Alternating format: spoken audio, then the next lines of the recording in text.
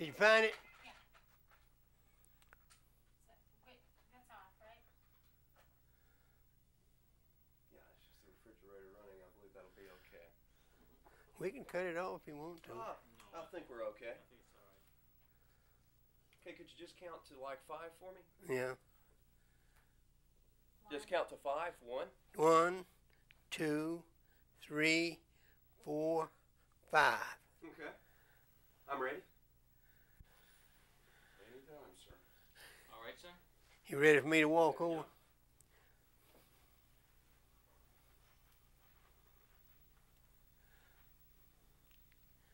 Okay, now start again. Families, we before we get started here. And I believe you want me to start with this one right here. This is my family of on my mother's side. This is my mother here in the top, and this is all of her brothers and sisters, except this one right here in this lady's lap is a, is a nephew. The rest of them all children of this of my grandmother and granddad is sitting right here in the front. And uh, grandmother's holding the youngest baby, and granddad is holding her next to it over there. Okay, now we're going to start again. And when Let me show you something about my family as we get into get into the going along.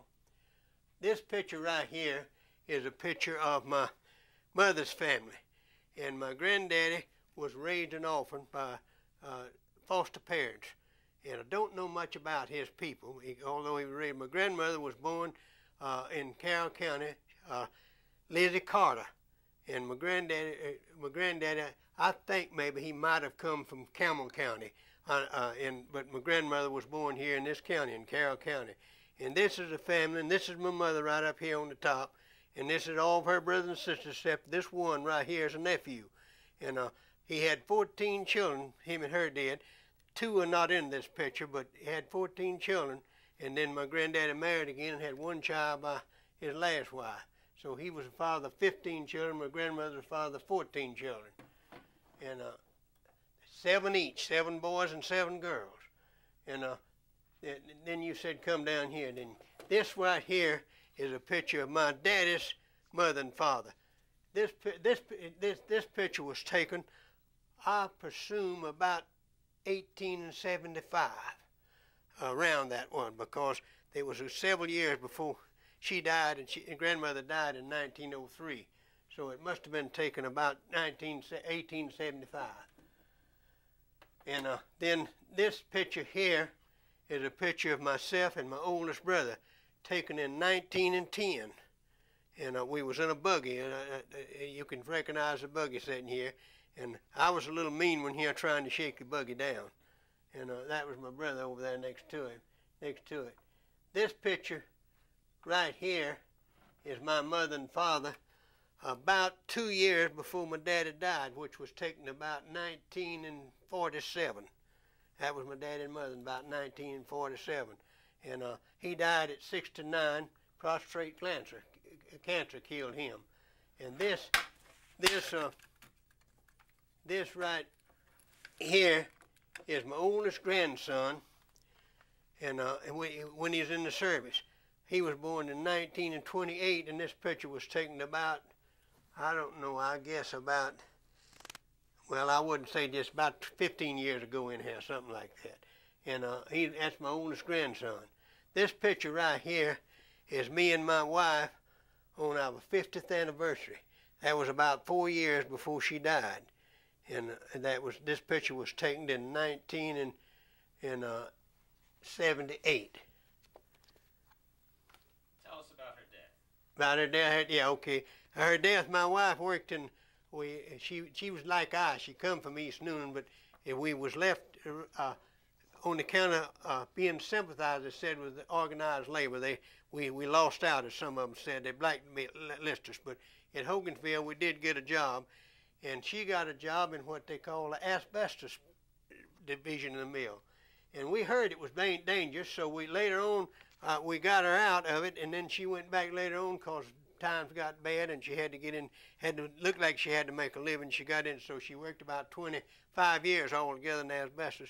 And from that, she developed asbestosis and died in 1982 with that asbestosis, which was a horrible to death. It was a you see people gradually smothering to death. They just gradually smothering to death, and there's nothing you can do about them. No matter what you do, you can't do anything about it.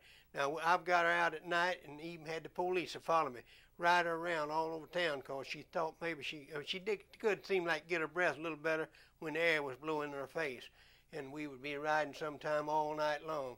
But anyway, I have seen the time whenever I'd go in here and I'd go in the room where she's at, and I have picked her up because she was very light. She got down to 70, uh, 59 pounds before she died, and I have got her plumb out in the yard before she'd catch her breath. And uh, you know, you're never ready to give your companion up, but when you see him suffer what I saw him, it is a relief to see him get out of that suffering. So I was, and it, it relieved whenever she got out of all that suffering. And then we uh, go down here to this bottom part here. This is a picture of my oldest son, my only only son, for the oldest child and my youngest child. That's my baby over here on this side. This was he was born in 1931.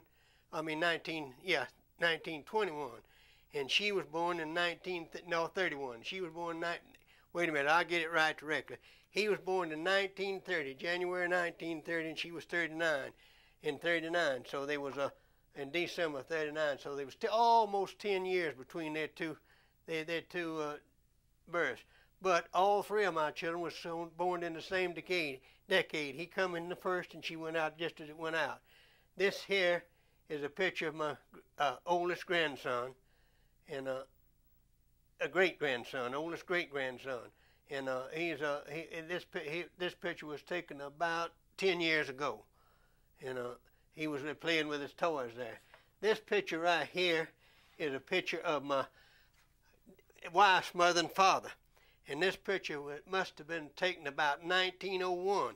Well, you don't see you can see it, my granddaddy uh, got a little a baby. Had a little a baby sitting in his lap right there, and that baby was born in 1900. So you can see how old he was. So I'd say it's about 1901, and, and that picture was taken. And uh, this picture right here is a picture of my mother at a Christmas time that we had in at my house. We used to have. They used to say you never had been to Christmas till you was at, at the Duncan's house, but my that was about uh, taking about about about four years before mother died, so I'd say around 1970. This picture was taken about 1970, and uh, that uh, my mother was a great woman, and I think I, I think about her a lot. But that that's about all that we can see about uh, I've got on the family pictures, and uh, this over here is the enlargement of my wife's father, mother and daddy. This small picture right here. This is an enlargement of this small picture right over here.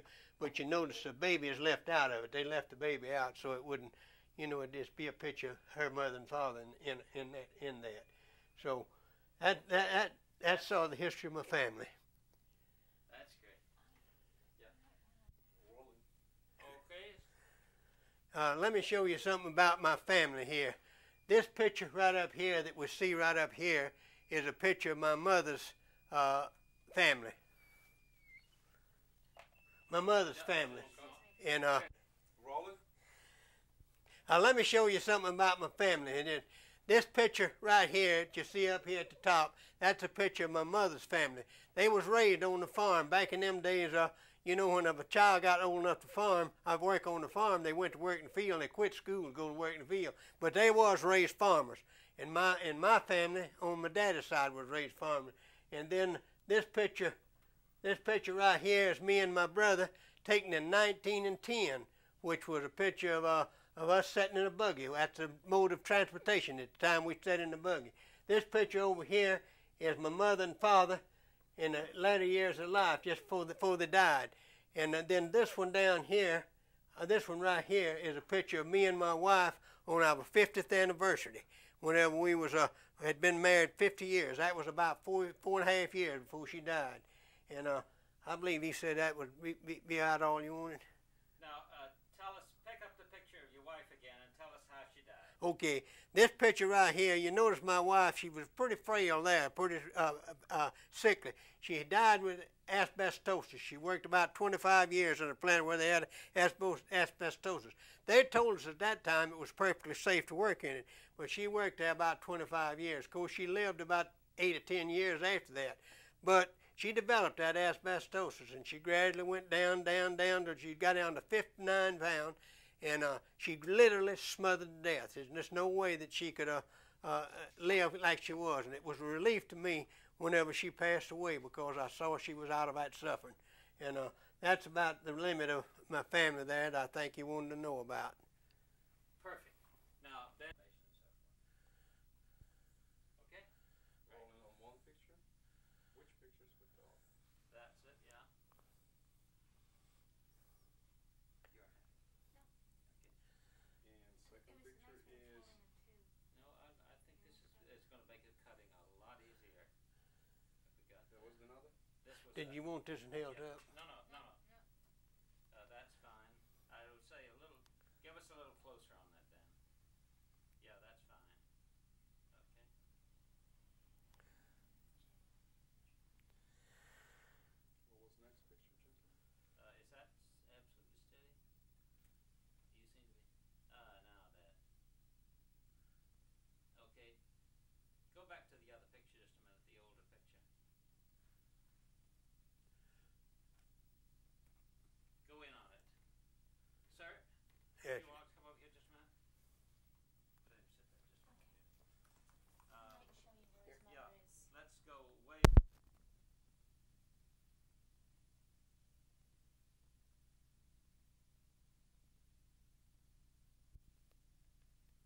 And roll? By the way, everyone in that family's dead except the baby, Uh-huh. that in his lap. Yeah. Now that's my mother. That's it, right up at the top up there. Then uh, go in for a, if you can, for a, about a, a three shot on the mother.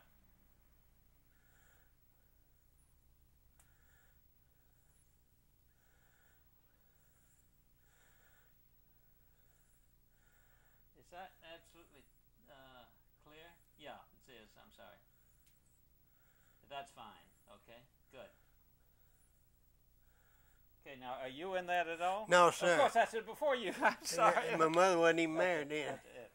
Okay. Maybe, maybe um, maybe he could tell us a little bit about his mom and uh, that he was raised on a farm with her until they left, George. How was that now? Were you raised on a farm? Yes, sir, I was raised on a farm till I was uh, about 14 years old. Did you get that? Oh, fine. Okay. And talk about this now. Yeah, this this is a picture of my, me and my oldest brother there, and uh, that's me and so there trying to shake the buggy down on this side, and that's my oldest brother. He he departed about three years ago, but uh, I'm the oldest one in the family now, and but that's me that that there on this side. Okay, I want to say that again, but this, this is me in 190. Oh, that that's me in 1910.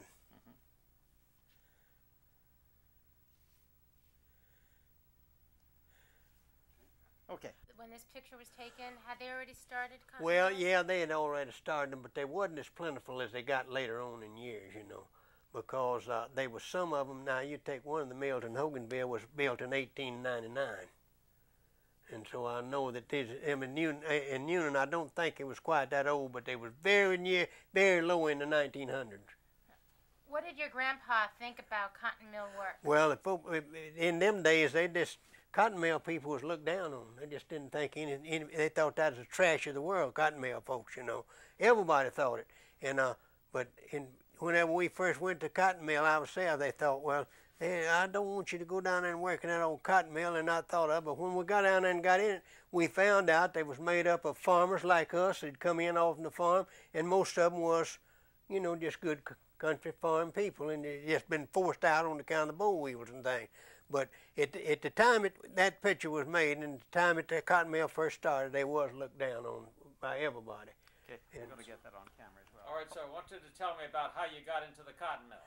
Okay, and uh, well, I, if we in 1923 was the year we left uh, stop it just a moment. the farm, and we, Uh, stop. Stop it. Just want to make sure that you look at me as much as you can while okay, you talk. okay. Okay. Start again.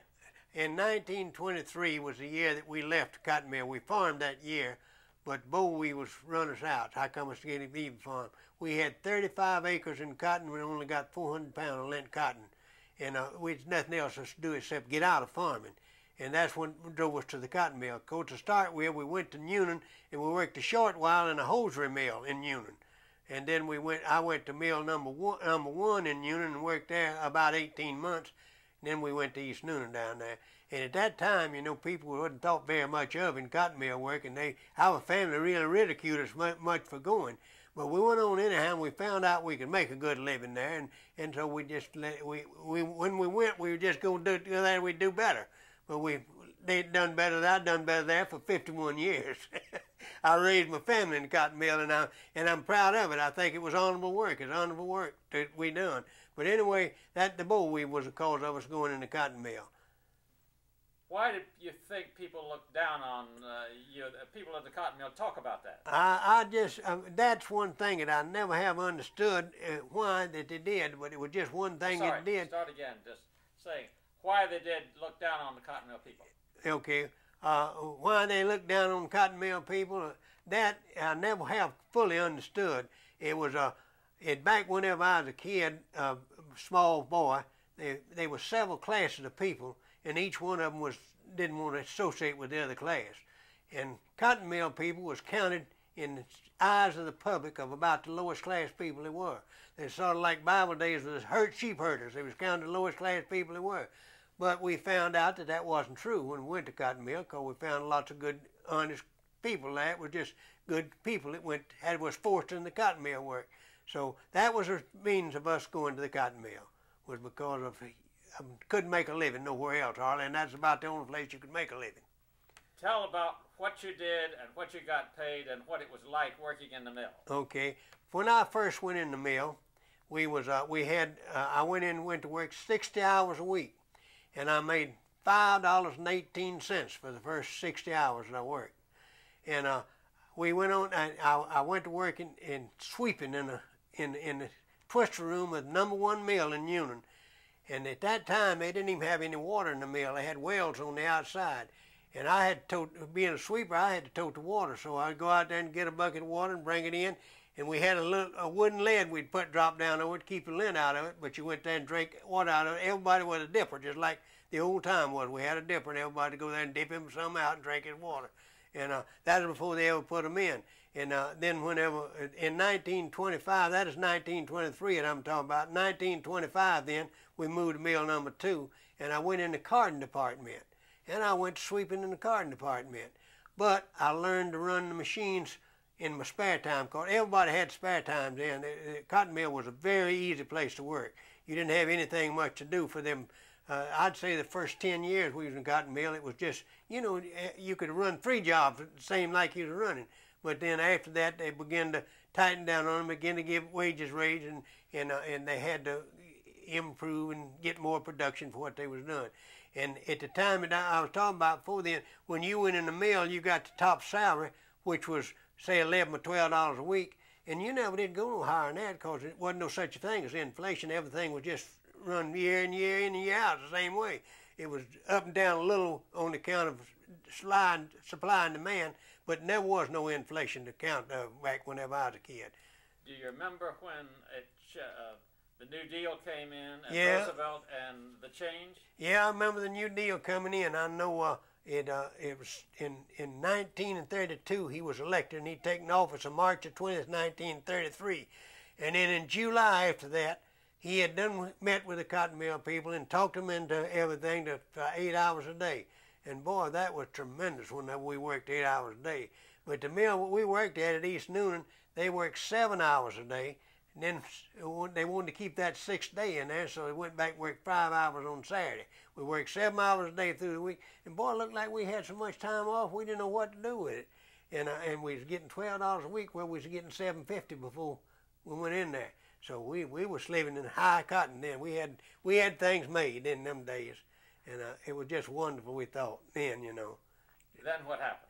Well, then, uh, then uh, they, they they they got uh, their organization become come in and begin to organize.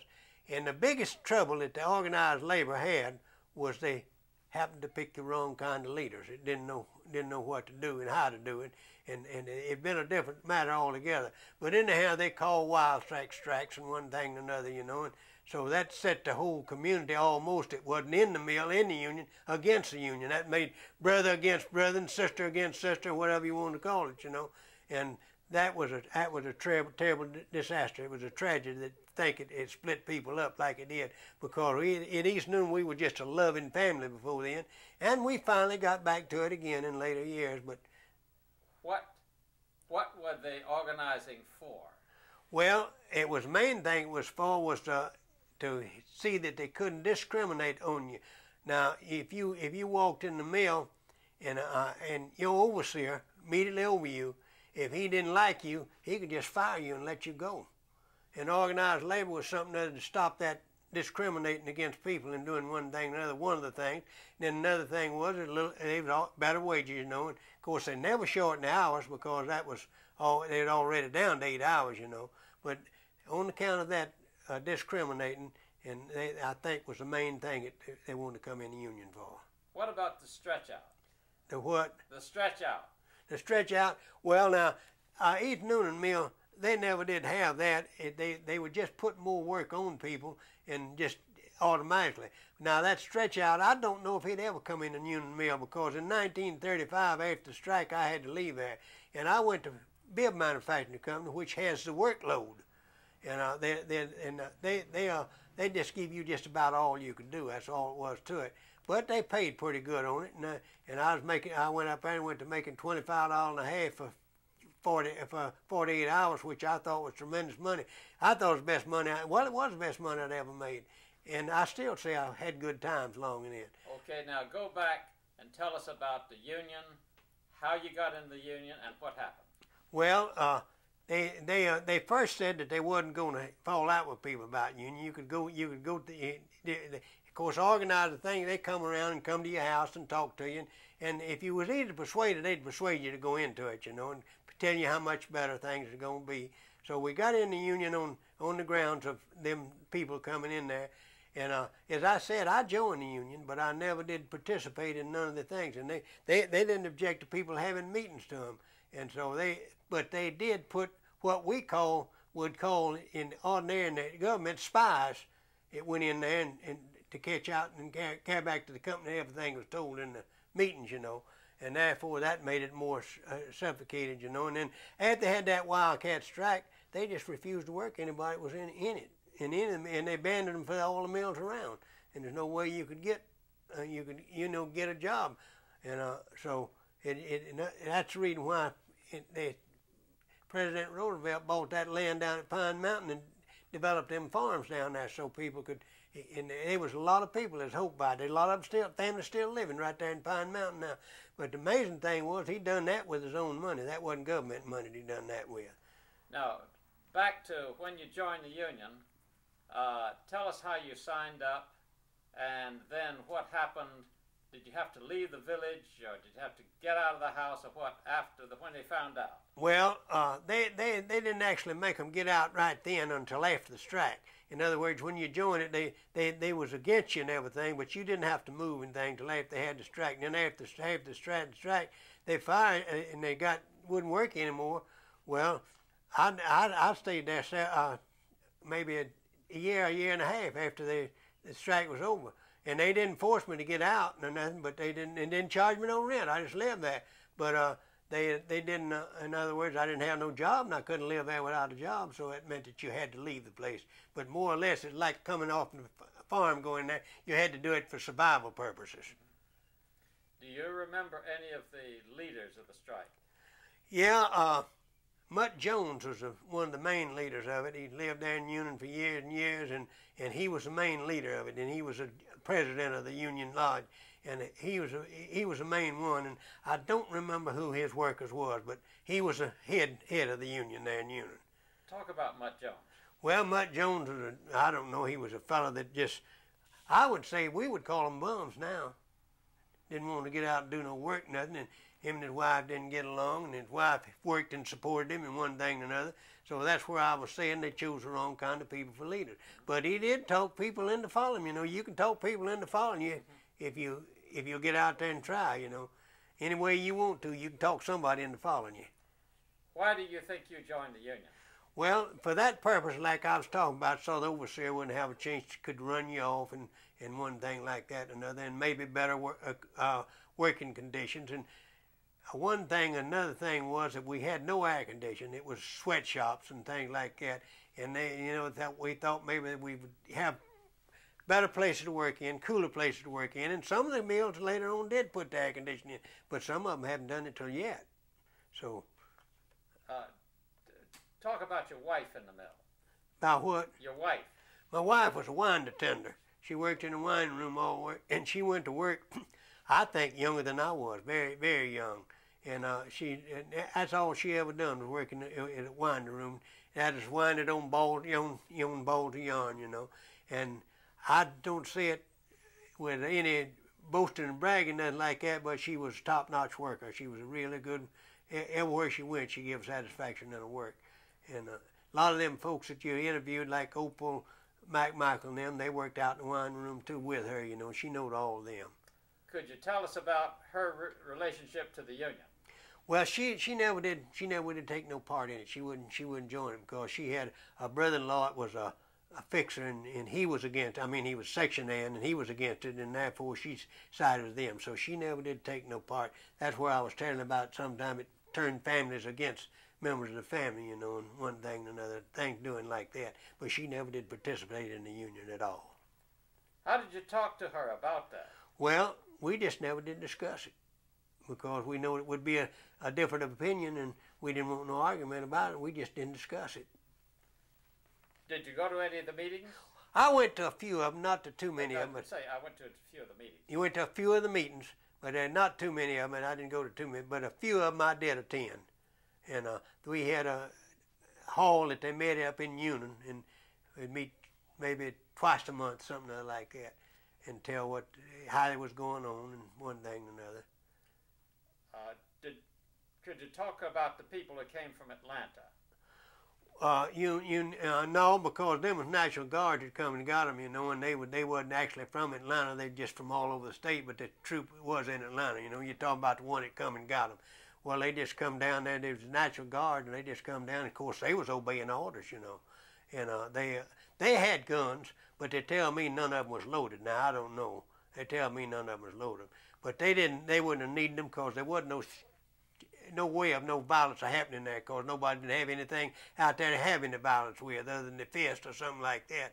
So it could, couldn't have been no real violence out there, but they wanted to break the strike, you know. And, and like I said, some of them said Sunday Herman Tal, I mean Gene Talmadge was running for governor, and he was re- running for re- re-election. And he told me, he made the speech and said, well, said if you uh, stay cool, you got a friend in the governor's chair. But whenever they, after we got in there, that we lost a friend in chair. so he sent troops out in less than about two hours after he was uh, uh, known he was really elected. And back then, it was a primary, all it was. But back then in Georgia, whenever you elect win the primary, you was that was it, because there's nobody run against nobody run against you in the general election at all, because Georgia was strictly Democrat. Well, all the South was, you know. They call them the the solid South, a, a safe South, you know. Did you ever go out on any of the trucks to try to close down other mills? No, sir. Never did do that. Uh, the flying squads mostly, most of them, as I said before, come from Hogansville. We come out on them trucks and to scare them down. And they would have, they would have sticks, and whenever they'd get out there, they'd form two lines out here and hold them sticks up like Mason used to, and let make the Boston thing march out under them sticks, you know. But now that's the nearest that violence had ever come, and he never did strike anybody or no